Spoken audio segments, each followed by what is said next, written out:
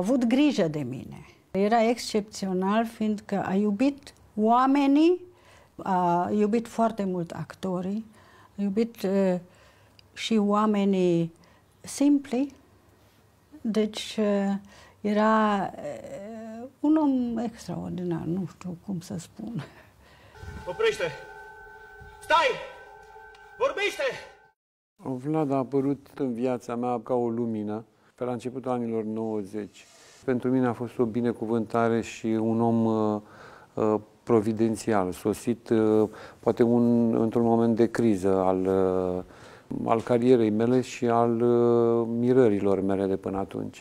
Era neprevăzut, foarte amabil, îi plăcea viața, îi plăcea să fie iubit de actori. Vlad Mugur a fost idolul unei întregi generații. În perioada aceea era tot ce este mai nou, mai modern în gândirea teatrală.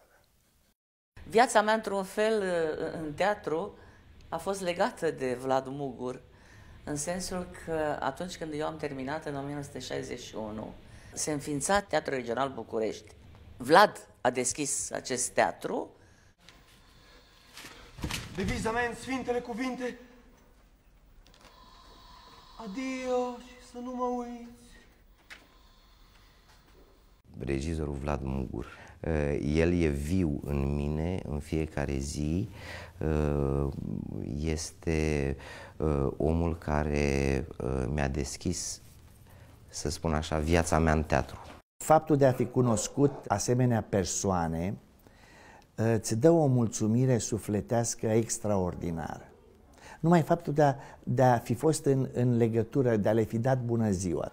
Iată un răspuns frumos, ca mine însumi. El monta la studioul uh, Institutului de Teatru Bărbierul din Sevilla.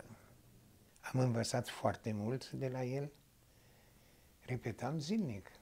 Repetam pe, pe niște principii de teatru pe care le pusese Vlad.